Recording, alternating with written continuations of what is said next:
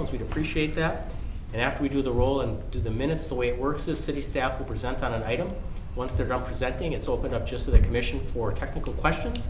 Once we're done with technical questions, public can then speak.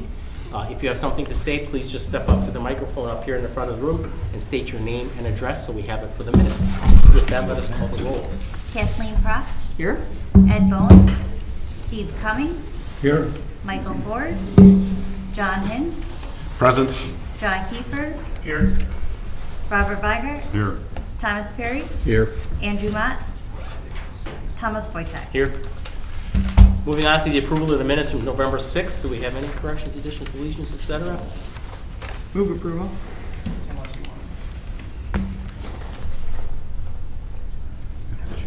Anybody gonna second? I'll second. All right, thank you. All those in favor say aye. Aye. Opposed? Okay, motion passes. Moving on to item want to second number one, There, no. Yeah. residential That's why I design standards variance to allow window area reductions at 1936 Oregon Street. Thank you, Mr. Chairman. So this item is a design standards variance request to allow reduction of window area on the front facade at 1936 Oregon. Um, Here's the subject site, might be a little bit harder to see here, but you can see it in blue, hopefully um, get a sense of it. It's right on Oregon, so it's on the south side of town here, Um, surrounded by single-family properties on the north, south, and west. And then that kind of odd lot there directly to the east is a two-family property there. Um, But all the properties are zoned single-family residential SR9.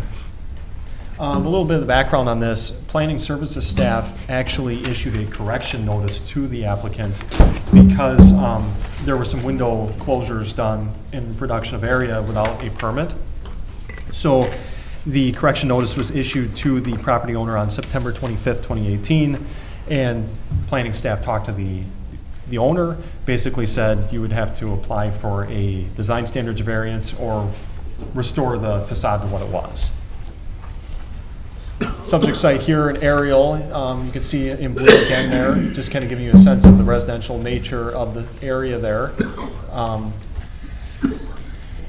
Getting into the code reference, um, just for anybody watching at home and for the Plan Commission, section thirty two forty-one in the design standards of our zoning ordinance basically prohibits closing of window openings on the front facades. Um, That includes gable areas, um, basically prohibits closing or filling those totally or partially. So that's the applicable code reference right there. Here is an image looking towards the subject property. Um, just trying to see how to use this pointer, I'm not sure. So there's the subject property there. Um, you can see, here's a single window that's in place right now, and I'll show you what it used to look like in a minute. But this is the subject property here, um, and then kind of looking down to the south along Oregon here.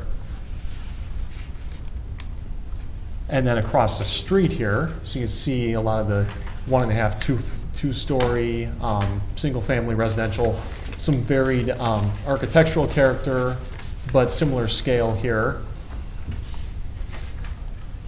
And then this is looking to the north from the subject property, which would be over to the right here, if you're looking up along Oregon. So just giving you a sense of the massing of some of these properties here and the scale.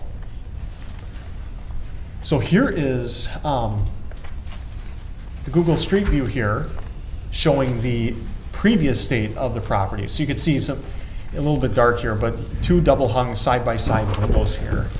Um, And they took up a good amount of the area of this ground floor of the front facade on this, this side here. This is what they ended up doing. So they closed off one of the windows completely, and they decreased the area of the other.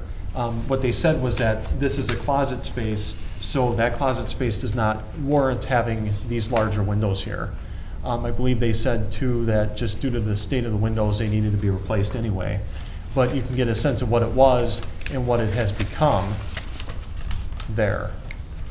The work was done within, I'm not sure exactly when, but within the past couple, few years. Here is what they were proposing as a potential middle ground here. Um, They said ideally, if they could just leave the single window as it was, as you can see there, that's what they would do. But otherwise, if they had to, they would do something like this. Um, I think I calculated that according to my math, they, when they reduced this window here and they completely eliminated the other one, it was like a seventy-three percent window area reduction for the total opening there. Um, What they would be proposing here with the two double hung, albeit smaller, but side-by-side double hung windows, it'd be about a forty-six percent size reduction there. Um, But replacing this one with just a, a similar size window there, I think maybe a twenty-nine by thirty-nine inch window, if I remember correctly. So we recommended that you approve the design standard variance, but with these conditions. So basically, the window trim, one that I've been trying to put in, pretty standard, the window trim for the new window would match the color and appearance of the existing windows on the home. So we want some continuity there.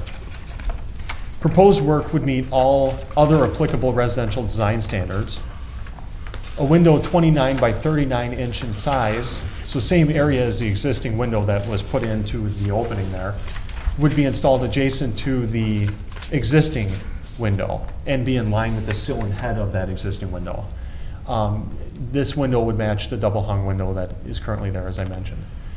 And then the design standards variance would only apply to the two ground floor window openings applied for. So any future window area reductions would have to come through the plan commission. Um, Basically, our finding was that the variance would not be contrary to the public interest. Um, I wanted to note that there are a few other code issues that we, uh, as staff, are gonna have to follow up on. One is there, I don't know if you'll see it here that well, but basically their porch roof is a standing seam metal roof here. You can't see it here, but it, it's, maybe a little bit here, it's kind of got a, a brownish reddish color. Um, it does not match, obviously, with the shingle roof up here. And so that's gonna have to be addressed somehow. It may be a design standards variance, it may be that they have to either install standing seam here or restore this or something, but it doesn't work with the code right now. The other issue is that their um, lumber here had to be either painted or treated, or, I mean, excuse me, stained, um, within eighteen months of installation. That was not done. So that's another thing that we, as staff, are gonna follow up with them on, because that does not appear to have been done. And then they also need to install some kind of a bottom rail on the, it's hard to see here, but on the outside of these, um, basically what would be spindles or balusters there. Um, Basically, we just don't allow those to come down and attach to the outside face of a joist there. So we would talk with the applicant a little bit more. It's hard to see here, but that's not code compliant right now. So a few things, code issues that are still outstanding that we as staff are going to follow up on. But for now. Yep. Just, we're just. just focusing on this, but just kind of a heads up to the plan commission, you may see more stuff come through to you. You may come back as a design standard variance, we don't know. Yep. But yeah, so the recommendations there, um, the conditions and the finding, that's what it is right there. All right, thank you. Technical questions? Anyone? Thank you for working with the applicant on this, but, yes, Ed? Um, Just out of curiosity, did you, did you calculate out at all what the overall glazing area on that facade winds up being with Uh, either of those options? I, I know you calculated out what the reduction in that, that double, that original double hung was. I just wonder what the overall impact on the, the window surfaces on that facade might wind up being in either of those scenarios. I unfortunately did not calculate the entire glazing area for that facade. That is a good question. That's something that we could do going forward. Yeah, Um, I, I think that, I mean, at least for me, that kind of helps me understand. Sure. 'cause That, that's one of the, sort of the, the trigger points of some of the other things that we do, like at least on like new construction and things like that, we have that level of, I don't remember specifically what it is, if it's fifty percent or whatever it is, but whatever that glazing amount is, it might help to compare these types of things when that comes in, just to understand how, I guess, how much we're looking at. Sure. Other technical questions? Okay, seeing none, anyone here from the public to speak to this item today? Come on up, sir, state your name and address, and tell us what you think. Hi, my name is Frank St. John. I'm 1936 Oregon Street. Um, The windows, what you proposed about the double window, you know, adding a second window, I have no problem with that. I gotta order it, and it takes four to six weeks. Um, And then the roof, I talked with them on that a little bit, and in the spring, what I'm planning on doing is getting rid of the metal and doing shingles like the rest of the house has. So that is being, you know, addressed too, just to let you know. And then, as far as the railings, you mentioned something about that. I have heard anything about that, so I don't know anything about that yet, so. Yeah, so um, if I can try to explain, so basically where you have a bottom rail, what's happening is usually that bottom rail is supposed to be underneath, so you have your spindles or balusters that bump down into the top of that bottom rail. Right now, it looks like they come down and attach to the face of that. And what we don't want is that type of scenario. So what, what would have to happen is you'd have to take and attach maybe, say, a, another rail on the outside of those spindles, if you will, or those balusters, whatever you want to call them Yep, attach something to the outside of that to cover those.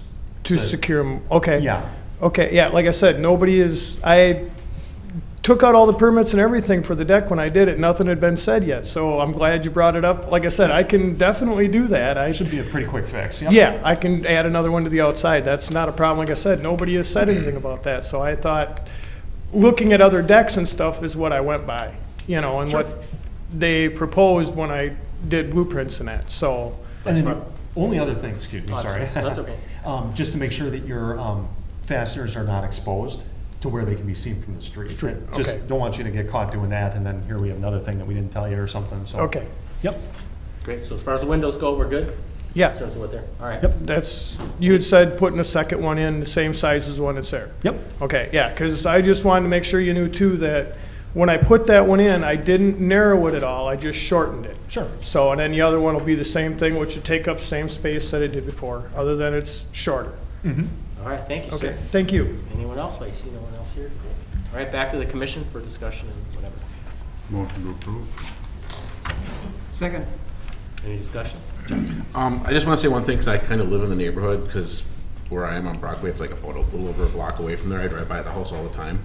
This house, even though they have things they have to tighten up, they're improving the hell out of this house. Yeah, it looks that It's, way. it, it, it looks so much better than it did before, so I mean, I'm glad to see that the city's working with them and we're not raking them across the coals. Any other comments or thoughts? I Yeah, this agree. is a good compromise. I think. I would agree. Thanks for everybody to be willing to do that. All right. Let's call the roll. All right. Hinz, Aye. Kiefer, Aye. Vajgrt, Aye. Perry, Aye. Propp, Aye. Bowen, Aye. Cummings, Aye. Ford, Aye. Fojtik. Aye. Motion carried nine zero. Okay, moving on, to item number two, a two-lot land division and certified survey map at 305 Ohio Street. Thank you, Mr. Chairman. All right, this is the first of two land divisions I'll be be presenting today. Uh, The first is located at 305 Ohio Street. Um, If you're familiar with it, it's a site of a, I believe, a BP um, gas station C-store. Um, The petitioners, uh, and, well, a little background story or information. Um, Also on the property on the western side, the pointer, go, is a, uh, a storage building or storage use uh, on the same property. The petitioner is proposing to split the two uses from each other by, uh, via CSM to, to create both lots, or two lots, uh, to allow him to separate the uses. Um, both lots are sized appropriately. Uh, The property is zoned UMU urban mixed use, and both lots do meet um, minimum requirements in the UMU district, um, with Lot 1 being sized at 3.51 acres, that's the one with the storage use. And then Lot 2 um, sized at uh, just over half an acre, which is, uh, which contains the gas station and uh, C-store use. Um, One issue the division, division will, uh, will uh, cause is the entire site is pretty much paved with asphalt. So there's going to be a zero-foot setback um, created uh, where the new lot line is going to be uh, placed. This can be corrected by uh, providing a cross-access easement uh, for the two properties, so vehicles can traverse back and forth. Otherwise, his other option would be, he would have to remove, or the owner would have to remove uh, five feet of pavement on either side of the new lot line. I did speak to the petitioner today, and he's fine with uh, having a cross-access easement prepared. Um, Other than that, there are a couple of, here's the actual CSM that was submitted. Uh, There are several features missing from the map, which uh, has been conveyed to the surveyor. Uh, Things are missing such as um, the paved areas, all the structures, the canopy's not shown on the map. And uh, in cases like this, we wanted to see the locations of utilities and the uh, underground storage tanks. So this will be required uh, on the final CSM um, before the city will sign off on it. So staff is recommending approval of this two-lot CSM uh, with two conditions. One, um, either a cross-access easement shall be provided or um, five feet of pavement shall be removed on either side of the new lot line. And it sounds like that's going to be taken care of with the easement. And then all structures um, that are not shown shall be shown on the final CSM. All right, thank you. Technical questions, anyone? Seeing none, anyone here from the public to speak to this item today? Nobody. Back to the commission. Move approval. Second. Any discussion on the motion, comments? All right, call the roll. Hinz, Aye. Kiefer, Aye. Vajgrt, Aye. Perry, Aye. Propp, Aye. Bowen, Present. Cumming, Aye. Ford, Aye. Fojtik. Aye. Motion carried eight zero one. Okay, moving on to item number three, A, same neighborhood, two-lot land division and certified survey map at the east 200 block of Ohio Street. Thank you. Uh, Yep, this is just north of the previous site at um, Bridgeview Center. Um, But up on the screen is an aerial showing, showing uh, proposed land division of of two, or uh, taking one lot and creating two lots out of it. Um, The site is zoned riverfront mixed use with a plan development overlay. Uh, The subject site is uh, a communal parking lot for um, a bunch of different pro- uh, properties located at Bridge- Bridgeview Center, uh, right here. And uh, it serves as parking facilities for the businesses along the river and the property to the south, I believe, right here. Petitioner's proposing to create this land division to separate the parking lot from uh, kind of a larger undeveloped area, which is proposed lot two up on the screen. Um, I didn't hear directly from the, or the owner, but it's assumed that he's looking to uh, develop lot two with a similar use to the other, other uses located at the center. Um, Proposed lot two is currently entirely vacant besides um, a communal uh, sign that serves for all the businesses at, at Bridge- Bridgeview Center, which is located at the southwest corner of the lot. Um, Both lots do meet all the uh, minimum dimensional requirements of the RMU district, so that's um, no issues created there. Here's a copy of the actual CSM showing the land division. I, I did talk to the surveyor to have a couple things corrected on it, which he has already, so there are a couple of conditions which will be axed off um, at the end of my presentation. Um, One issue that will need to be rectified is um, existing cross-access easements will have to be updated uh, to accommodate the new uh, lot line, which is creating zero-foot setbacks. Um, That's already been handled by the surveyor. And then, one thing that was missing from the CSM was access restriction of Lot 2 to Ohio Street, and that has already been um, um, uh, corrected by the surveyor. Uh, Back, the- back in 2008, the DOT bought up the access rights to Ohio Street and required any other developments, they would have to use the communal um, driveway and parking area to access um, Bridgeview Center, and um, that has been corrected. Uh, One last item that is not been uh, resolved yet is there are several, several util- utility easements that should be shown on the map. Um, Each, let me go back to this. Each, each of these properties have um, water and sewer laterals which run through either lots one and lots two. And there is no record of any easements serving any of these properties up here. So I'll be working with a surveyor to have those drafted up before we sign off on the final CSM. So with that, staff is recommending approval of um, the two-lot CSM um, with a couple of conditions which have been removed, the, uh, the cross-access easements and the um, access restriction on Ohio Street, that's been taken care of. And the last remaining condition that still needs to be uh, fulfilled is um, requiring any utility easements uh, serving the other properties along the riverfront. All right, thank you. Technical question? Seeing none, anyone here from the public to speak to this item? Okay, back to the commission. Motion to approve. Second. Any discussion on the motion? Call the roll. Hinz, Aye. Kiefer. Aye. Vajgrt, Aye. Perry, Aye. Propp, Aye. Bowen, Aye. Cummings, Aye. Ford, Aye. Fojtik. Aye. Motion carried nine zero. Item number four, conditional use permit and access control variance request for a multifamily use at 913 and 915 South Main Street. Thank you, Mr. Chairman. This is a conditional use permit request to establish a multifamily use at 913 and 915 South Main Street.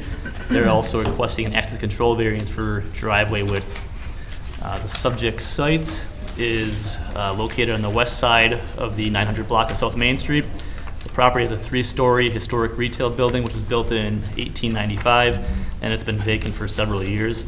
Uh, The surrounding area is predominantly uh, commercial and industrial uses to the north, south, and east, and residential uses to the west. Uh, The property is also located in the South Shore East planning area, uh, identified in the Imagine Oshkosh plan. Here's an aerial view of the subject site. The petitioner is proposing to convert the existing building into apartment units.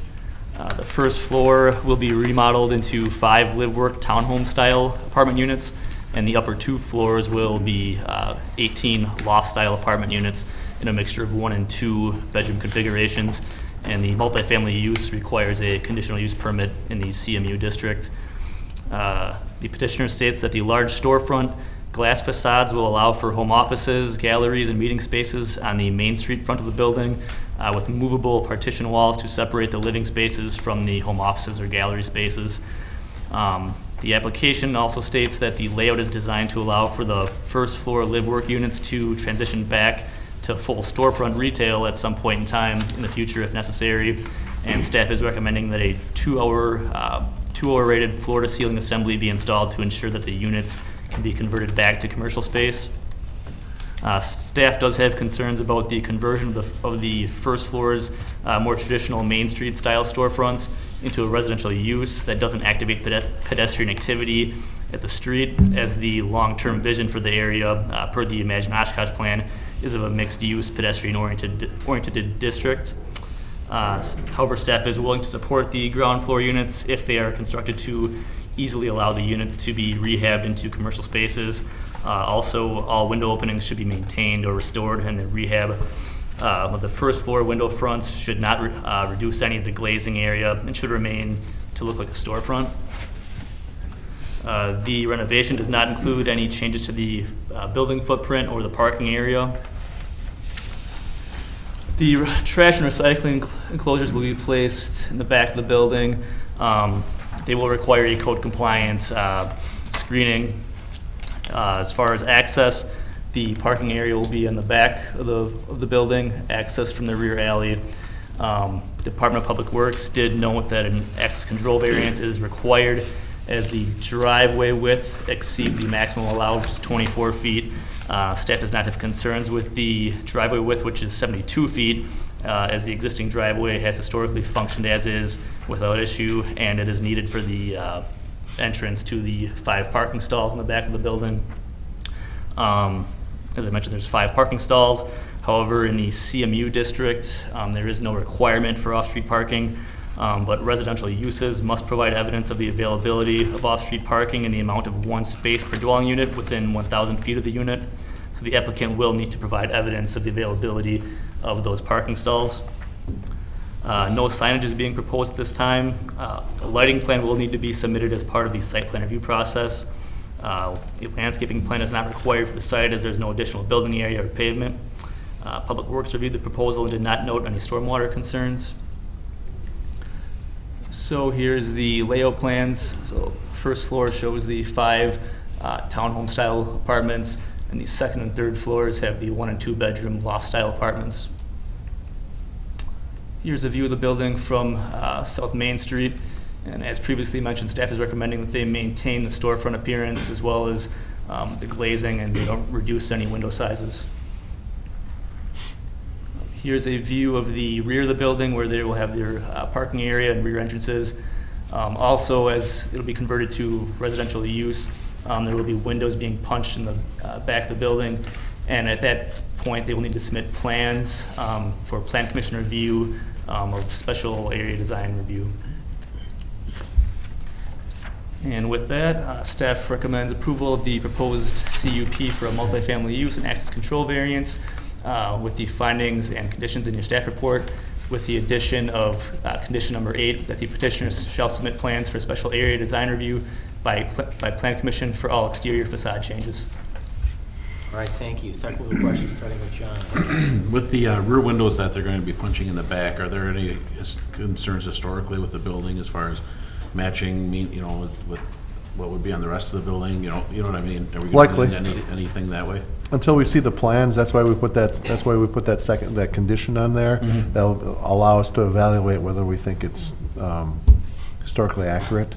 Uh, I think uh, when the applicant gets up here, I think they're talking about doing, trying to go for the historic tax credit. If the historic tax credit is in play, then they will have to do, do things like that. They did take this before, it was at the Landmarks uh, Commission last week, uh, last week as well, and I think there was general support for the concept at, at that Very meeting. much so. Kathy? Um, I just want to re, uh, find out again. The Landmarks Commission did review this and has no problems at Correct. this point. Very enthusiastic about the facade being maintained and so forth. Okay. Correct, but we don't the have. back, the, the back of the building, was that talked about or that? Not in any detail. I think that's a concern because it's, it's covered in, in sheet metal, I believe, right now. Uh, But that's why we put that, that, that final, we're recommending that final condition that uh, when we get the plan, when we get the exterior plans, that we bring it back for the plan commission for uh, the uh, SAD review, as Ed calls it. Oh, so s- the plan, your plan commission will see this again? Yes. In terms of that back wall? Yes. Oh, good, Yeah, the good. facade changes. Because Landmarks gets a little testy. I know, oh, I personally know that. Sometimes they sure. have good reason. Yes, yes. Thank you. It's job be Concur with observation. Um, could I also ask, uh, go back to the photo on the front? Is, does this include the red building on the left, or only that, the taller structure? Yes. Building on the left, too. On the left also? Okay. And that lovely garage door, or whatever that is, the white thing? That will be replaced. Stephen, the garage door on the left, the building on the left, that will be removed and something is going to be replacing it, correct? Let's, uh. I Well, we can think wait for the petition. I petitioner. think the All right, petitioner well, can help I- us in I- that. That's a technical question, we, I can, I can wait. Uh, My question is, having sat through the sawdust, the sawdust district meetings, we had a long discussion about whether or not Mhm. there should be residential on the first floor on the street. Mhm. Um, So if, if this all gets approved, this is cool in terms of it's not violating any kind of, Not yet. okay. Not yet. I mean, we- we- well, um, let, let me take a step back. We haven't, we haven't adopted that plan yet. And I think, you know, different parts of South Main are gonna have different, uh, development scenarios Right, laid, we talked about that. laid out for it. I think definitely north of Ninth is a different, a different, uh, vibe than probably south of Ninth. Uh, that being said, we haven't adopted the plan yet. And the other, the other thing that we have, well, and this is conditional use permit, so it's, it's permitted by conditional use permit for right now. Um, I think the long-term idea is that this area transitions out. The the, the point is timing right now, and I think, you know, a transition out of this area is 10, 10 years out. Yeah. Because we have the whole east side to deal with. The area is not ripe for retail because we haven't done anything with the parking and with the no parking along South Main. Uh, I think staff is behind us because it's gonna add some activity and life at the pedestrian level. Sure. They'll, they'll add some life to this area, so I think that's why we can get behind it, but that's also why we've put some of those conditions in there that, so when, the- the yeah, and when the time is right, that this area can more easily transform into a commercial retail area. Other technical questions? All right, seeing none, anyone here from the audience to speak to this item today? Going once, Twice? Okay, back to the commission. Motion to approve with the conditions. Second. All right, dis- Any discussion? Kathy, you have any further questions as long as we're, Um, yeah, I think the answer is something will, positive will happen with that garage door. Sure, and like I said, it's, it's coming, it's coming back here. assume so, right? It'll, it'll, it will come back, it's gonna come back here for review. I think right now, they're trying to get some things in place, uh, to potentially apply for a tax credit, so things are, they, they gotta get, uh, kind of a an approval at the local level. We've put enough conditions on it that we're comfortable that anything that happens, it's gonna come back to staff and our plan commission for review. Okay, great. I think it's, uh, I think it's a great project. Mayor Cummings?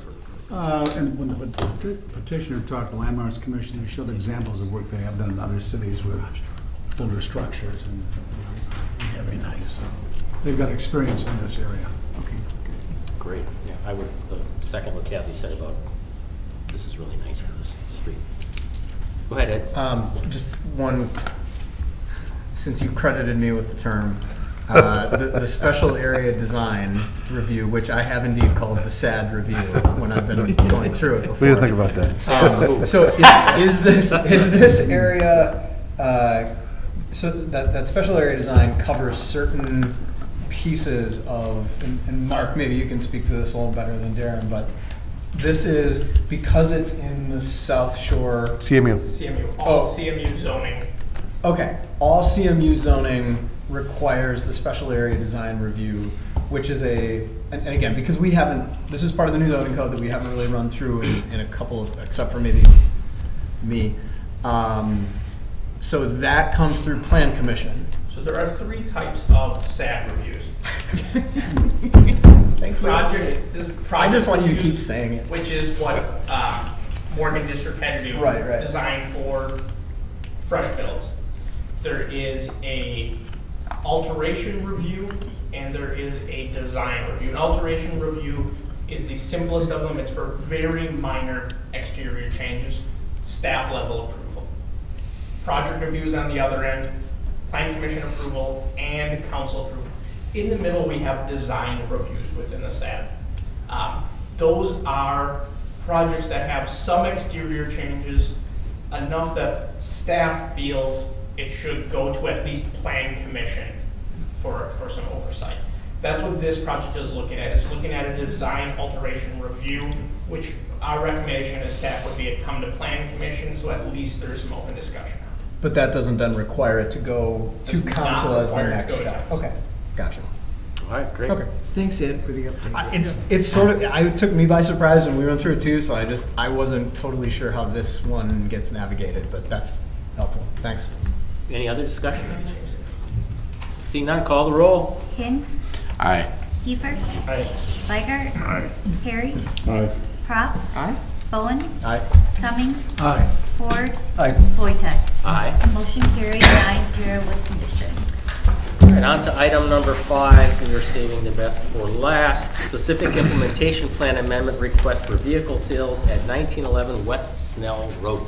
Thank you, Mr. Chairman. Sure thing. Um, so this one, we're gonna go over quite a bit of background and history compared to, um, the last projects that we just talked about, as this site has been before Plan Commission and Council numerous times throughout the year. Uh, so this is Lawrence Truck Stop located on, uh, Snell, used to be on the old Fountain Drive. As you can see, it is a commercially used parcel. Uh, it's a truck stop, they do some towing. Um, they're trying to implement automobile sales and as an allowed use. Uh, so it's about a 5.3, or excuse me, 5.8 acre parcel, currently zoned urban industrial with a planned development. Um, comprehensive land use plan does call for industrial uses in this area. So we'll start with a little bit of background. Originally, in 2006, Common Council approved a conditional use permit and plan development amendment to expand the existing truck stop to include automobile sales for two years. In conjunction with that, they put nine conditions on that approval, and those are found within your uh, staff report. Then, in 2014, that two years expired, and the applicant had to go back to the Plan Commission to try to renew it. Council denied it at that time. Following up again in 2008, the applicant went back to Common Council for a plan development amendment, but the automobile sales portion was not part of it, and it was only for an existing ground sign to be relocated a fence on the property, and a new driveway, and a building addition. That was then approved in 2008 with five conditions. Again, those are found within your uh, staff report. Fast forward to May of 2017, Planning Services did issue a correction notice to this property for unlicensed, unregistered, inoperable vehicles being stored in the open. Applicant indicated that they were vehicles that were going to be for sale. Discussions went forth and said, no, you're going to need a plan development amendment then to make that a permitted use. So the applicant subsequently filed for the automobile sales plan development amendment. Included in that was a 50 by 50 building addition and fencing and some outdoor storage area. Uh, This was the prior site plan that was approved as part of 2008. As you can see, this included the relocation of the driveway, relocation of a sign, and a fenced-in outdoor storage area, kind of in this area. Nothing else on the rest of the property. So currently, the applicant is looking to add automobile sales as a permitted use, do a 50 by 50, uh, we'll get back to that, let's go to the current site plan. So this is their current site plan that they're proposing. So they're looking at doing a 50 by 50 building addition, uh, regulating a number of their parking stalls for automobile sales as well as customer and employee parking, and expanding an outdoor storage area. So they're looking to expand the outdoor storage area. The previously approved outdoor storage area, and you can see it on this plan, was about one acre in size. The applicant was looking at nearly doubling that with approximately 3,900 square feet of additional outdoor storage area. With that, the applicant was uh, previously approved to use a metal eight-foot fence for the storage area, and the applicant would like to continue using that eight-foot metal fence. Staff does not support the use of the metal fence for the new larger outdoor storage area, as we've now increased the visibility from 41 and neighboring properties. That previous fence stopped about here. So staff does not support the use of the metal fence. By code, it is required an eight-foot solid screen fence for outdoor storage areas. In this case, staff would like to see the new portion of the fence, and, and through conditions, it be similar to what we've used in other areas, whether it be the, a solid wood fence or some of the vinyl fences or the woven mesh chain link fences that we've seen in the past that we feel look a little bit better. Um, this photo shows kind of that existing metal fence that the applicant is using. In conjunction with that, staff is also wants a condition placed on the property that right now there's a missing section of fence. You can see through that fence into the outdoor storage area. So this portion of the fence right now is non-code compliant as the existing outdoor storage is not being fully screened. So we're asking for a condition to be placed on the property requiring them to fix that portion of the fence and then use the newer material for the rest of the fence. Also with that, as you can see here, when the applicant was approved in 2008, they were required to put in this new access drive along the western portion of the property. At that time, a condition was placed on that, that new driveway be code compliant with city standards, meaning it needed to be asphalt or concrete. The applicant did not do an asphalt or concrete driveway. As you can see in this photo, it is gravel. So we're asking that a condition be placed, making them bring this back up to city standards, this being asphalt or concrete, as well as the access drives. And we'll get to some aerial photos later that show, but the access drives um, that were done as part of this same project were supposed to be concrete. They were never done as concrete. It's basically a big gravel area. So staff's recommending a condition be placed that all of that be brought up to current standards as it should be asphalt or gravel per codes.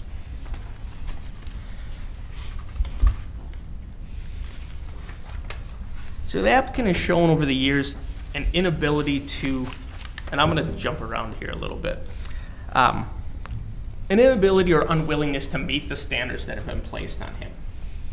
And that's why the city, in this case, is asking for kind of one unique aspect of this plan uh, development, and that's for an actual plan. He wants to do a large outdoor storage area. So we're asking that applicant be required to bring a written and drawn plan back to this body showing exactly what he's going to use the outdoor storage area for, how vehicles are going to be stored, what is the long-term intent of those vehicles. The applicant has never been approved for basically a junkyard or salvage yard where vehicles can just remain indefinitely. This was supposed to be an auto repair business and towing yard, where vehicles had a very quick transition in and out. That's what he was always previously approved for. So to kind of show the history of the site, here's the site in 2000. You can see there was a little bit of storage going on. So move forward to 2003, a little more storage going on. 2005, a little bit of expanded gravel, and they're, they're kind of bordering on going onto the neighbor's property here. 2006, again, also you can see oh, we got a lot more storage going on here. This is 2008 when the applicant went through a lot of their approval processes. And you can see they now have this the fenced outdoor storage area, but they're continuing to use an area that they're not approved for.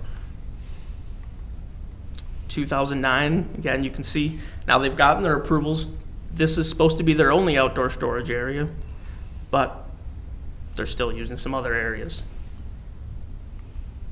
2010, you can see all of a sudden from 2009, 2010, a significant more storage is going on outside of the approved area. Again, 2013, you can see kind of that outdoor storage outside of the approved area. 2015, that's still maintaining. And as we go to the next one, I want, to, want you to focus on this area right here. So this was 2015. This is 2017. Again, even more significant portion of outdoor storage outside of the approved area. You've got all these trailers lining the exterior of the property, and then this huge increase of outdoor storage here. This outdoor storage area you see here is basically what the applicant is now asking to be allowed to have. To go from just this to all of this area. So this is why the staff's asking, okay, you want this outdoor storage area, we're gonna screen it appropriately per the code. Let's see a plan of what you're actually gonna do in this outdoor storage area. How are you gonna use it? Is it for towing vehicles? Is it for vehicle repair? Is it for vehicles that you're repairing before you sell them? Because the code is not giving them permission to run a salvage yard or a wrecking yard at this location where vehicles are stored indefinitely. This is supposed to be a, a faster turnover type of business.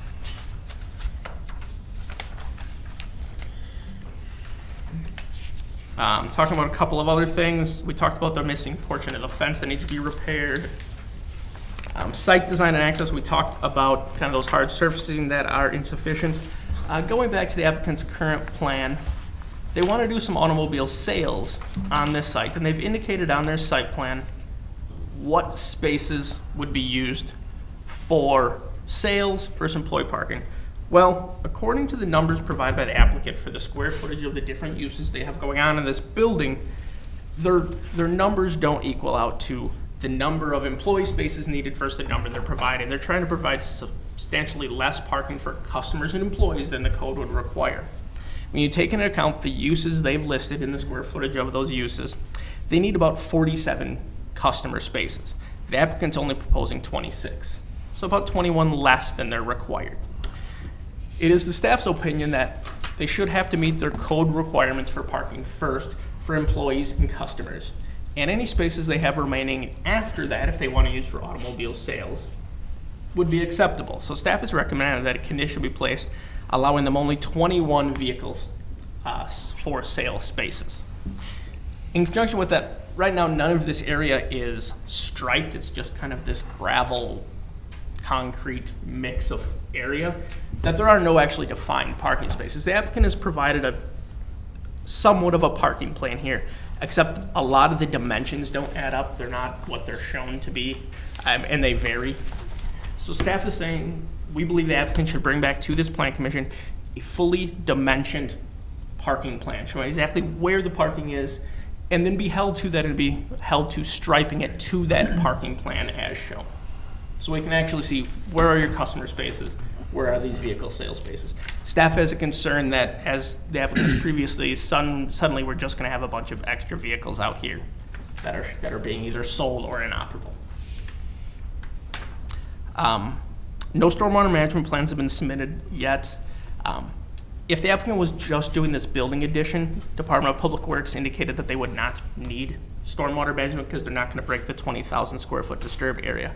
However, stormwater management may be required when they have to pave all of this that is not currently paved. It's just all non-conforming gravel. So stormwater management plans will likely be required in the future. Um, landscaping, uh, we'll talk about signage a little bit. No new signage has been proposed as part of this. However, the code requires that any signage that is not being maintained be removed. The applicant has an old sign structure that for years has just been sitting there deteriorating. Staff's recommending that we, as part of this, again, condition it that that sign needs to come down. It hasn't been used in years, it's in deteriorating shape. Let's get it down, clean the property up. And I don't know if the landscape plan made it into the PowerPoint.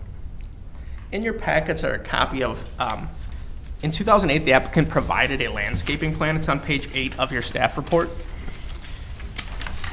Either most of that landscaping was never installed or it was not maintained and is not on the site.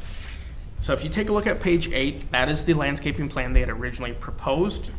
And then you look at page nine, that's the current landscaping plan. As you can see, there is significantly less trees, none of the shrubs that are indicated on that 2008 plan, and a little bit of landscaping they've shown isn't even on their property.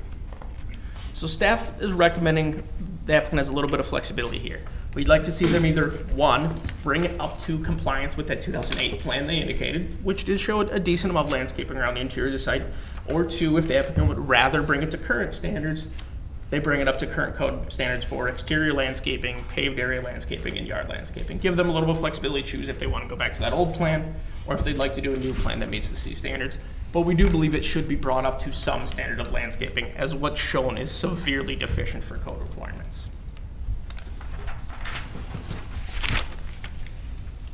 Uh, finally, building facades. They did not provide any building elevations for their building addition. Um, as this is a plan development, staff is of the opinion that they should bring those building elevations back to Plan Commission for approval to ensure that any building addition does match with what is what there today. So we are asking that a number of these items be readdressed and brought back to Plan Commission for review.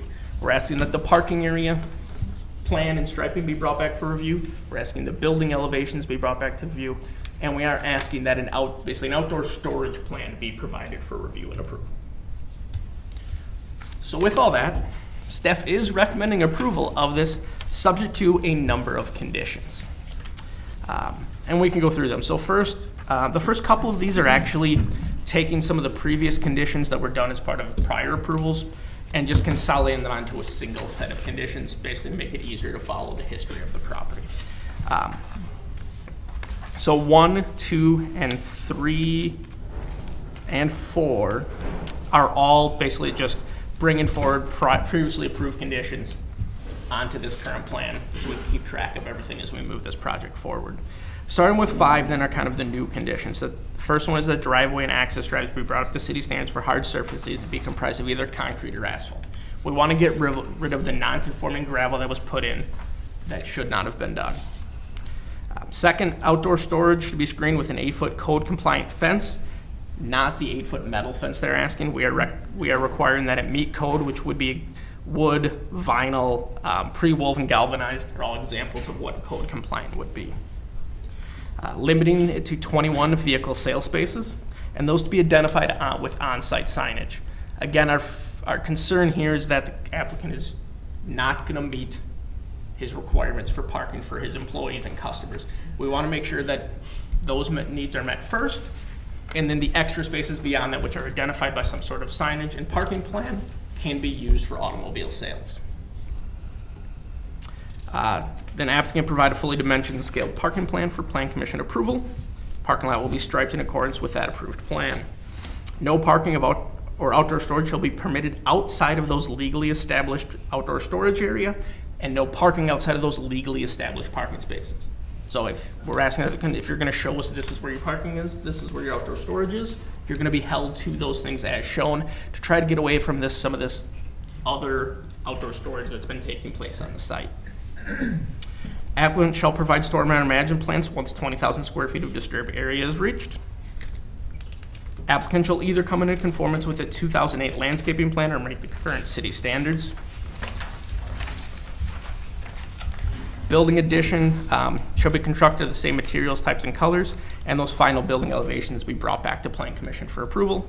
And then finally, that outdoor storage plan shall be reviewed and approved by Plan Commission. Alrighty, thank you for your endurance. Technical questions, please. Gaddy? I don't know where to start. There you go. Except that this is technical question time, and I will just point out, and my opinions will be well Later. known later. Um, Point out that I drove out there today. There is literally, those, those pictures do not do this of the, the latest picture, yeah, is that the latest one? of That's vehicles? 2017, that's the last Well, image we had. it, this does not do it justice. Parking, every available space had a vehicle in it, every single one, along the uh, Highway 41 side, along the building side, to say nothing of all the trailers parked around the edge. There, I would just opine that there is literally no space for vehicle sales. And so it's generous to say that we would be, he would be able to have space for vehicle sales. Anything else? That's all I'm gonna say right now. Mayor Cummings? I also drove past it today, and uh, at one time, at one time, that was a truck stop, and I can't tell if they've, if they've completed a rehab of that truck stop, or if it's half done. It's- Collins, wasn't it? Pardon? Collins, yep, that's correct. um, There's no space for a truck stop. But it was a nice truck stop at one time, and I don't know what the building looks like it should be. Is this technical, either level or finished?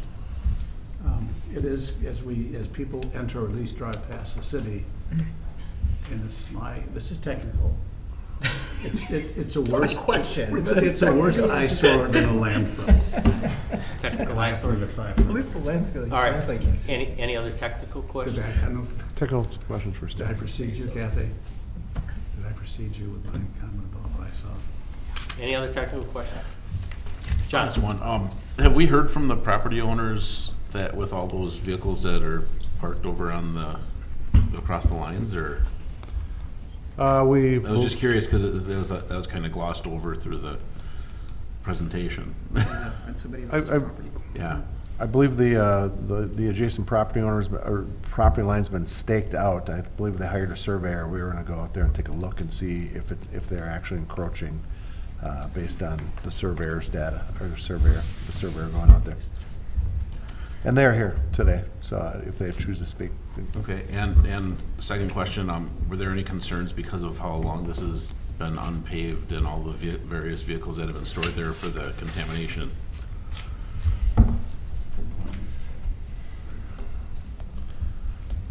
That's a concern, I mean. I mean, we're, it wasn't addressed, that's, concerned it about wasn't it. addressed, that's why I was bringing it up, because that's a lot of years of fluids.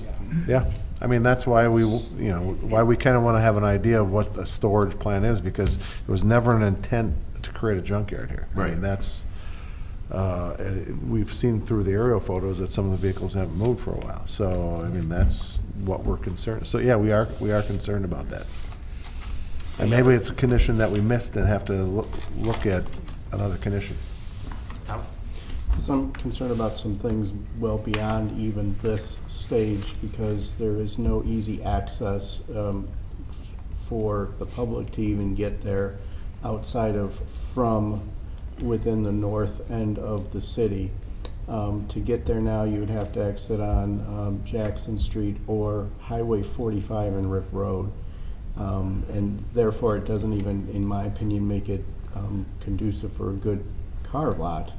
Um, And in order to do so, you would have to have a significant sign, in my opinion, to um, help direct traffic to get there. And so it leads me to believe that there are even more obstacles that need to be um, addressed in the future as well. Would that be true? It's not the most convenient place to get to, and there's not a big population base around there, but there is some residential population. Yeah, if you miss the right and right off Ryf Road, you're going in circles. Any other technical questions? Seeing none, anyone here from the public to speak to this item today? Come on up, sir. Up, up here, up here so they get you on camera.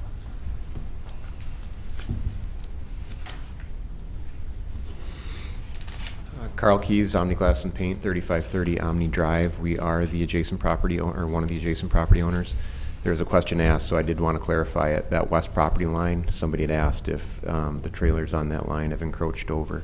Uh, We did have that surveyed by McMahon Associates, um, and the line on there is, is pretty accurate. So the trailers are over the uh, west boundary property line. We have asked formally for them to be removed. Um, That was a little over a month ago.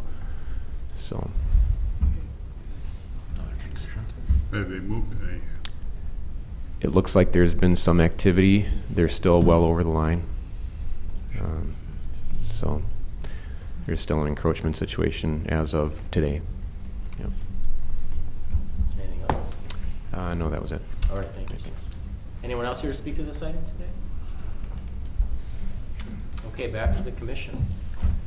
Ed?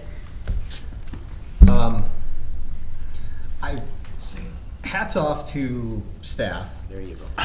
Um, you guys, Darren in particular, has now been dealing with this particular property uh, for longer than I've been on Plan Commission, um, I believe. And I, I uh, hats off for, for you guys to, to try to find a framework uh, with which to uh, approve this because you are um, sort of presuming that the better angels of property owners uh, want to take over and actually uh, operate in good faith with you. And um, I- will say, you know, on the record, this property owner has not operated in good faith with the city of Oshkosh uh, and has not done so for the better part of a decade.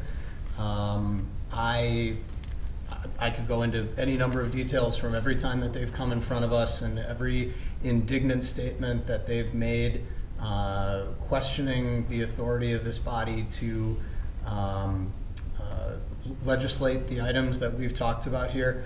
I'm not going to do that. Uh, I'm just going to say that I'm not going to support this, and I don't think any of us should support this, despite the fact that uh, Mark and, and Darren uh, did their darndest to find a pathway to approve this, and, and I think that that's um, uh, I think that's laudable because it shows that you guys really are working in good faith with, with applicants who bring in even challenging properties.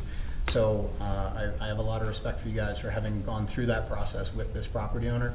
Um, but I'm not willing to give them um, the benefit of the doubt here. They have not earned that in the last decade, and I, I think we're uh, we're foolish to think that anything's going to be different this time around. So I'm not going to vote. Uh, I'm going to vote against this. I would, uh, right on to what Ed said, the the only thing I would say to city staff is at some point, time is, uh, has value and time is finite, and it's like, cannot your time be used for petitioners that, that, that are more willing to work with you and who have shown some respect for what they've been asked to do? I think you've gone too far above and beyond in this case. Maybe there's a strategy there, I don't know, but, but I, I, there are other petitioners who deserve your time. Kathy? Yes, right on. I mean, this project is arguably the worst eyesore in the entire city.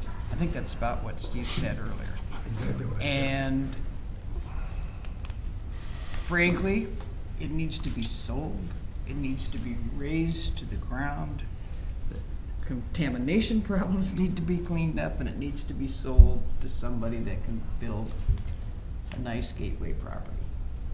Uh, What is, I do, I intend to vote no also. Um, What happens if we all vote no and he's still out of compliance? Well, we're current, we're currently, uh, address, we're, uh, we're currently got, we have an active case in, in court right now. You have an active case in court? Correct. Okay, which could result in something positive, maybe. We're going through the legal processes right now. This is part of that process. Um, They have to go at the local level to, you know, they're making the request for something that we cited them for. Okay. So they're, they're, they're going through that administrative process. Did I miss anything, Amy? She, she here? No. No, we're good. That's, okay. All right, I guess that's all I have to say. In the spirit of compromise, because that's what staff's been trying to do, I, I would like to say, is it possible for us to put a one-year check-in on this? and have them show some actual advancement in a year. Otherwise, I, I- I'm just trying to find that common ground right here. We've sunsetted on this one in the past as well. We've sunk a decade. Yeah, I mean, we, we had a two-year on us at one point. That's when it came back to council, and council did not renew it. um, 2008. So it's, it's possible for you to do. Um, You have to be under some real good performance standards on that. I think we tried to get at that with, with the staff report, and we appreciate the comments. We've spent a lot of time out here. Um, I just don't want all the work to go for nothing. Yeah. Honestly, I'd at least give them, give them, say, hey, this is it, lines in the sand. We were trying with, the- with this staff report to try and get at that, because we, you know, the staff is as concerned as everybody else around this table, and we've been working on this property over the years rather hard, uh, you know. Because I'd be willing to make a motion with the sunset on it and two more conditions. Because they need to get the trailers off the adjacent property, So part, and they, and they need to, and we need something about the fluids and contamination out there. We yeah, need, to- we need to the find out about conditions we that. placed on it would require removal of all those. Okay, so then one more. Nothing would be allowed outside of the outdoor storage area. Yeah, so then one more condition, which would and be the parking area. contamination, possible contamination. Um, does that sound, uh, one year, two years, uh, six months, I'm trying to. get We, feel. staff is, staff has given you a staff report that they're supportive of, and it's not sunsetted. If you, if that gives you more comfort, Then I'd That's- like to that's- hear what that's- everybody else thinks if we, if they want to sunset that Thomas and then Steve. before I make the motion. Tom, Tom first. Um, uh, Well, I also agree that the um, city employees have done an admirable job trying to make this work. I believe firmly that it's 13 or 14 conditions that will not be met and have no intention to be met. Steve? Just one comment, I do have to leave another commitment, but this is the same in- individual that had vehicles stored on the corner lot on Oregon and Ninth for next to Ever, and it It's took on us, the north, No, we're in twentieth. northeast corner. that would be next to the old Bader and Stephan store. And it took the city forever to get those vehicles off that property, so I, I think you're right, they've shown no willingness to comply with anything that the city has. And I would add, That's- I would that's add not that good. this is, this is not just about their property. The Omni folks have done a beautiful job putting together something very nice. We just approved an upgrade to their sign. They're, they're, they, they are nice to look at when you're coming south on Right. forty-one. It's like, it starts affecting other potential property owners. Mm-hmm. I think the city's been way beyond patient here. To the, to the city, what would the impact in the legal process be if we were to approve this? I'm gonna defer to our council that's sitting in the back room and. Darren's done. I'm sorry, my answer is no. You have to be here. I'm sorry. Getting a feel of it because of, because then, no, no, because then. Come on up, Andy. Yeah. Yeah, part, part of, and, and Andy's involved here, but part of what we're doing is, we're also putting together a site, a- a- another approved development plan that now will have a resolution out there again that more clearly spells out some of the issues that we've had out there. If we, if we don't approve it, we'll, we'll go back and we'll do our best to, to um, continue to enforce the, the, the existing codes and, and the plan development that's approved out there. And we'll continue to do that. I think with this action, we were hoping to get some more black and white. Amy, do you want, you want to save me on this, please? Say I- that a little I- louder. So, With I- this action, we were hoping what? She's I gonna, think with this action, we were hoping to kind of get a fresh slate, right? And I, I appreciate the concerns that everyone has that it might not be followed. Um, but at that point, we could take subsequent action. So the, the best case scenario is that it is complied with and everyone walks away happy. Um, worst case, what we're doing is just setting a fresh slate for everyone, saying, okay, these are all the rules that we have to follow from here on out. So again, it's kind of that fresh start. Everyone's stepping back and, and looking at these conditions as the, the baseline, if you will. I don't know if that addresses what you were kind of going for, Darren. That- that- Yes, it does. Thank Yeah, you. that answers my question, and that being said, then I, I would be supportive of this, given that they've been out of compliance for a decade, and they're still there, they're still doing the same thing. So if this opens up a possible door to finally settling the situation, I'd be supportive of that. Bob and Kathy. Are we gonna set a time limit on this? Not a year, not a two-year, you know, You can't do anything, any, you can't do anything until we start getting compliance with these conditions. All right? Are you asking if we could set a, a timeframe of you must be fully in compliance by six months? Six months from this is now? what I'm asking. Are we gonna let it run out another ten years? Or are we gonna set some kind of a time limit that they have to be in compliance before this is gonna take place? Amy, do you have an opinion?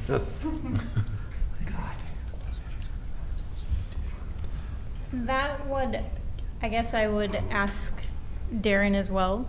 But on this one, I mean, once it's approved, though, that's the, the plan development for the property. That, that's a good point, because a plan development can always be revoked. So if we don't show, if he doesn't show good faith, we can move forward with the revocation. Conditional use permits can be revoked, plan developments can, can be revoked through, through the same process. But if you don't see through. anything moving forward, how long are you gonna wait?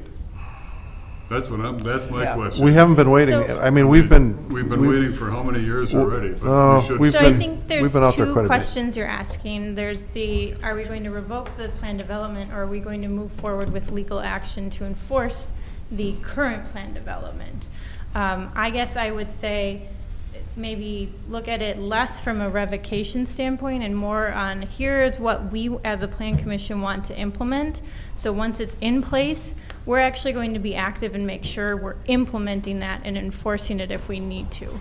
I don't know if that addresses your question, but again, I look at it less of revocating what we're doing today than in making sure we enforce what we're doing today. We're, we're setting it up, we're getting approved, we're proposing to, to appro- approve a plan that we can more easily enforce, uh, enforce when we run into an issue, and that happens right away. I mean, we're not, the reason we're here is we've been out there and we've been citing. So, you know, we've seen, we've seen things evolve at that site as well, that it, it gets our attention. And this, from our standpoint, this sets us up, we think, in a better position to continue enforce down the road. Do we need a time frame? No, we don't need it. I don't, I don't believe we need a time frame because everything should be immediate. When you say they've been cited, Mhm. is that costing them money? Not yet. They're getting actual citations that they have to pay a fine on because they're not in compliance. Everything has to go through the court system. That's, So- I mean, we, we put them out, we, the reason why we're here is w- they're under citation for a bunch of cars that are out there that shouldn't be out there. So they're trying to, it, go through the administrative process to re, to remedy that. So who writes, I mean, I get, my We write question them. is, who writes the citations? Gentleman over there, uh, to your So left. basically, it's just a a warning tool. No, we were in court. We are, we are literally in court, but this is part of, But this it- is, this is the part of the process that a lot of people don't understand, why a lot of times zoning compliance takes a while, because we have to go through, we have to go I through this understand that. I've process. done that with- Oh, I know, but people need to understand that when somebody calls in for a complaint and, and you don't see immediate compliance, it's because we have this due process. We're currently going through this due process. Um, Yeah, a, a little bit of what kind of was alluded to here when we talk about kind of the fresh slate. We don't get- mean a fresh slate in terms of him getting to start over. So much has gone on with this property through the years. The legal trail of paperwork of what's been approved and changed and has gotten a little murky and hard to follow. Some of the thought process we had here is, that's why we brought forward a bunch of old conditions. Trying to clean this up into a single document, single resolution that says, here's everything you have to follow. And if he doesn't, it will aid the city in legal enforcement in the future, because we have a, one single document instead of saying, well, here are your conditions from '06, the first time, here are your second '08 conditions, here are your, it would give us a little bit easier of a path to legal enforcement. Is that adequately said? That's perfect. Kathy, Okay. Some of us said, no way, Jose, a few minutes ago. So what you've just said is, this is going to aid, we swallow hard and hope we don't choke, and we pass it. But it will help the city in a lawsuit process in a way to resolve positively, maybe, mhm. That's what's our- happening out there. Okay, That's- well, on that note, I will try not to doesn't have to choke, be- and I will approve it there doesn't have to be any kind of time limit on when they meet those conditions? No, it's- No, it they has to start be. enforcing right away. That's the- We're enforcing now. We, he needs to come in with all these plans now. Um, We've requested, and I guess that is something we, c- maybe Amy to consider. As part of this, we've put, what, three or four recommendations in saying this should be brought back to planning commission, this should be brought back to planning commission. Is it, is it worth considering saying those things must be brought back in a six months, a year, a reasonable timeframe? Because I Sure. guess the uh-huh. option is, if this is approved and he doesn't bring them back, we could just straight move forward with enforcement. You were conditioned, you know, three months from now, we could say you were conditioned to bring these things forward, you haven't. We move forward with legal action. So I guess it's kind of a, Yeah, so we don't have to put time frame on we it. don't really don't need a timeframe because we could just move forward with legal action if, if it has not been followed. Okay. so That, I'm I mean, talking- it's a good point. We've got a lot, we How have a many- lot of non-compliance How many right now. votes are needed for approval since there's eight? Is that five? You need five, right, because a tie is, a tie is a lo- is a loss, I believe. Tie would be a loss. It's a majority of who- who's here. So. So we have. There are eight here, so you would need I, I five. just want to say that if, if we do pass this, this will be Yeah. the first time we pass a specific implementation plan without a specific plan.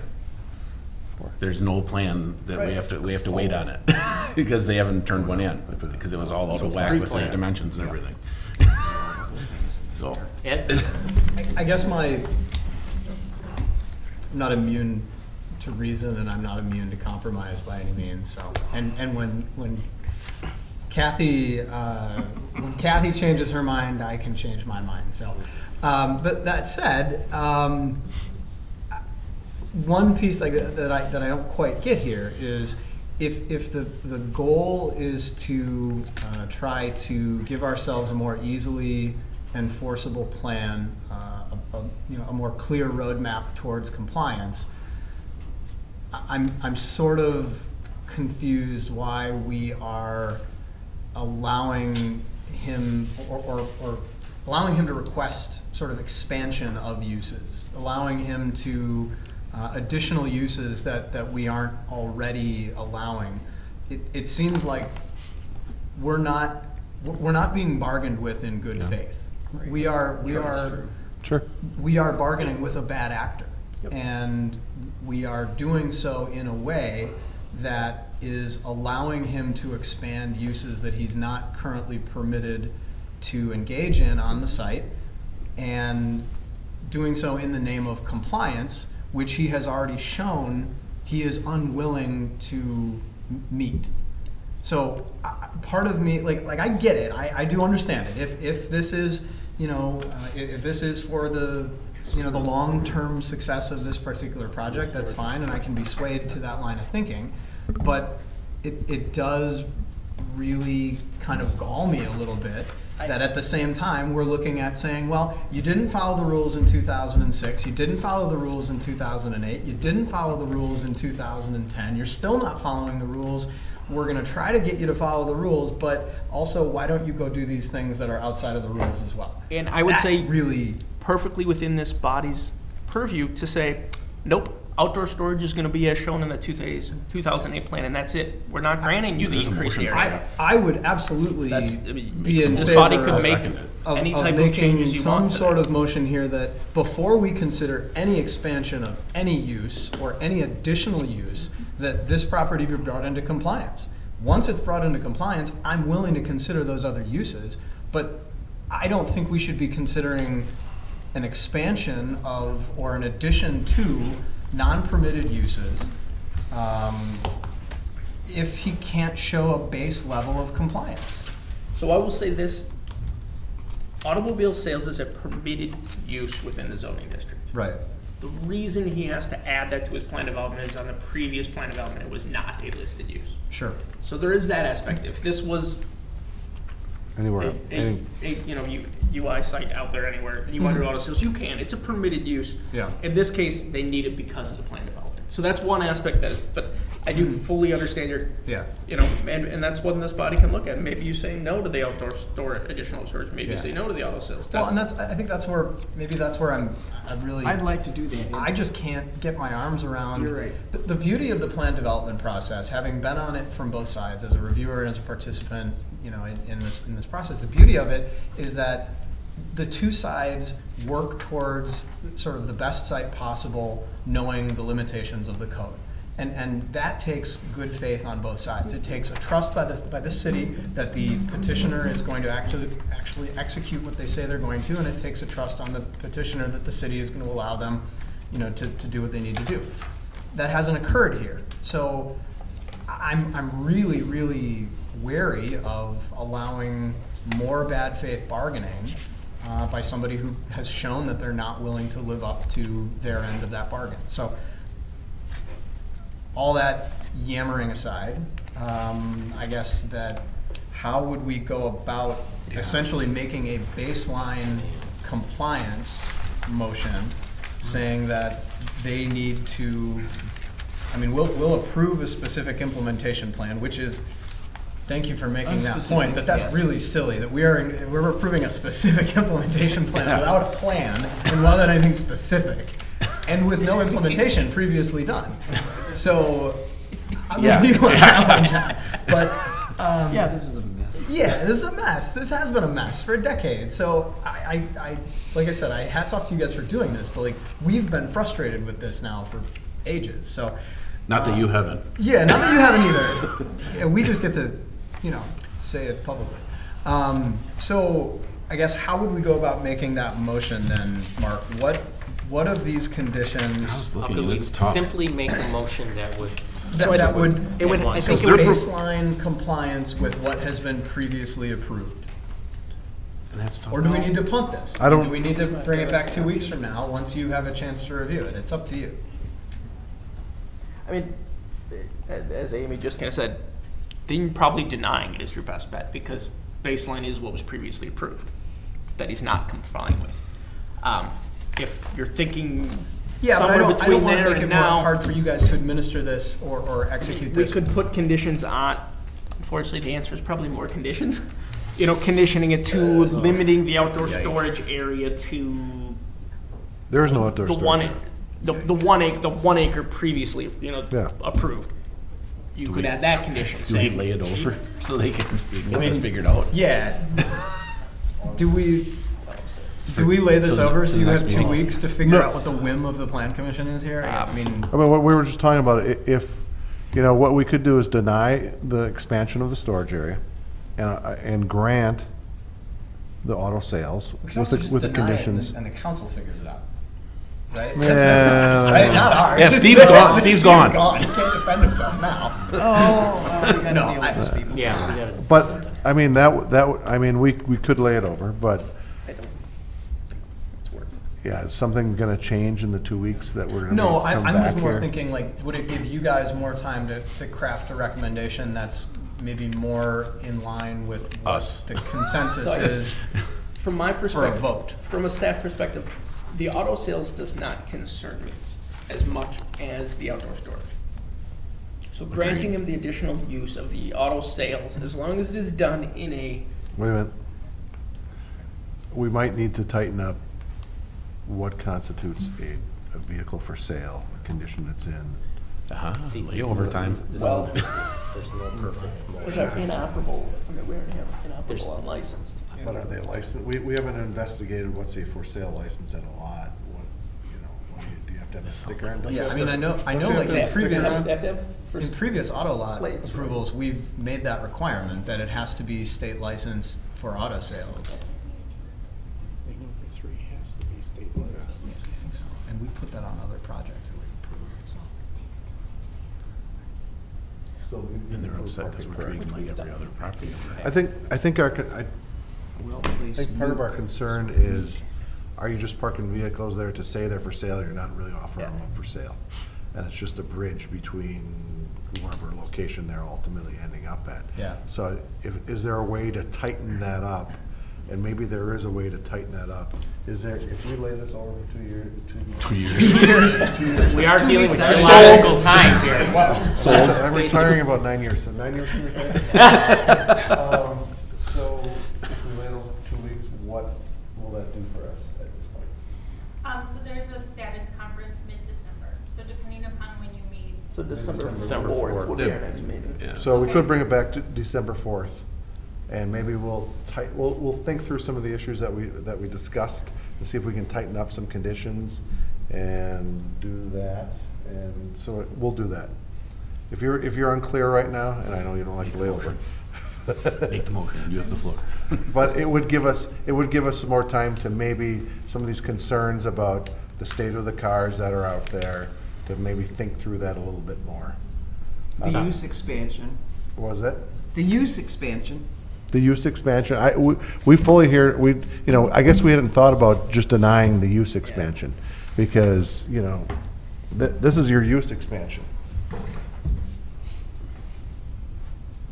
This is your use expansion.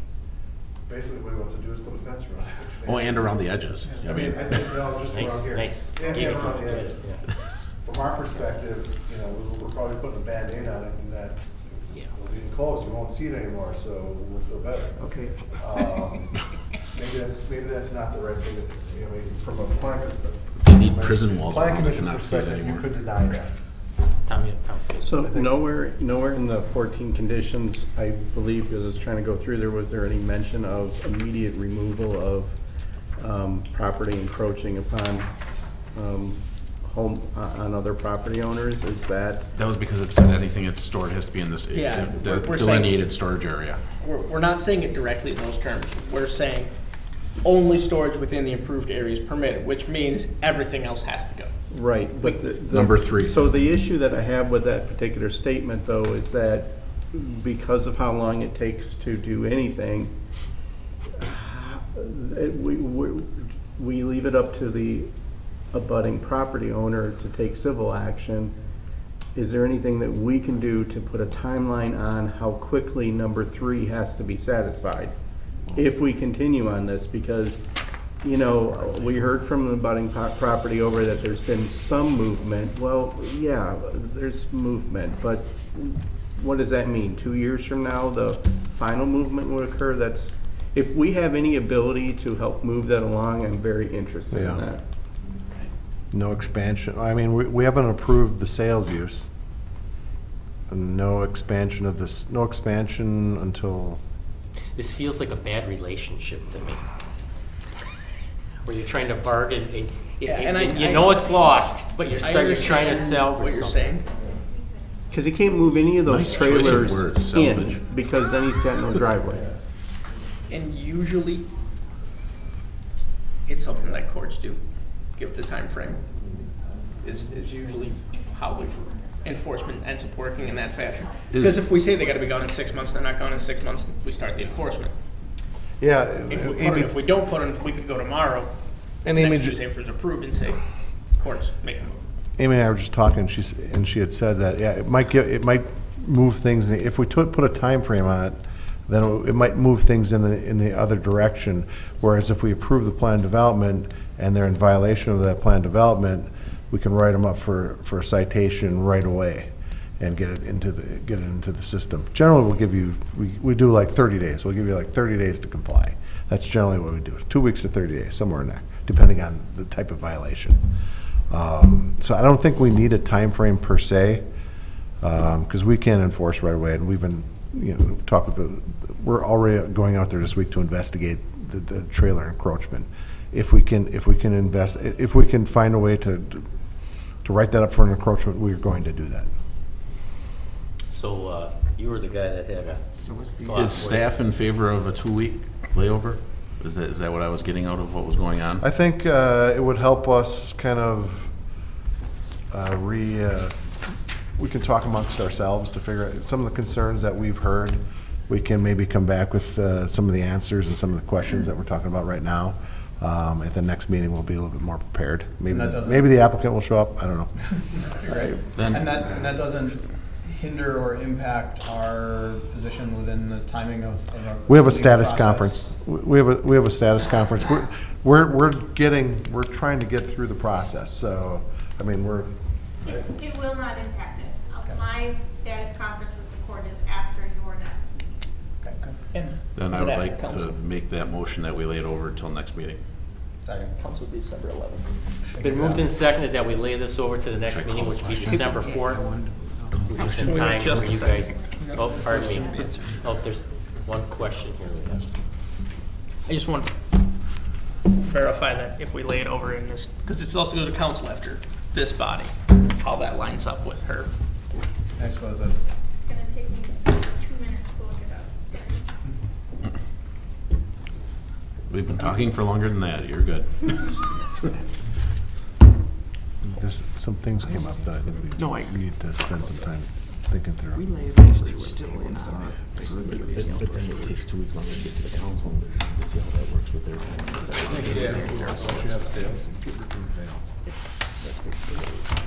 So the scheduling for the status conference on this case is December twelfth. So it'd be the day after. That's not good. But no, it's day after the day after council. council. It's day after council. So that That would should work. be, That's, that's Lucky gonna be us. tight, but you can do it. lucky us. Okay, so it's been moved and seconded that we lay this over to the next meeting and they can do their wizardry. Ed- And all the things line up? John moved and Ed seconded, I believe. Yeah. John H. And that John, bearded John. Any other discussion on this, or do we want to keep going for another hour or two? Call the question. How's that? Let's call, let's call a vote. All right, Hinz, Aye. Kiefer. Aye. Vajgrt. Aye. Terry, No. Propp. Aye. Bowen, Aye. Cummings, I'm sorry, Ford, Aye. Fojtik. Aye. Motion to lay over, seven zero, sorry, seven one. Came here determined to go. All right, any other business, gentlemen? No, thank you. Have a very happy Thanksgiving. Second. Second. Moved and seconded, all those in favor say aye. Aye. Aye. Opposed? No.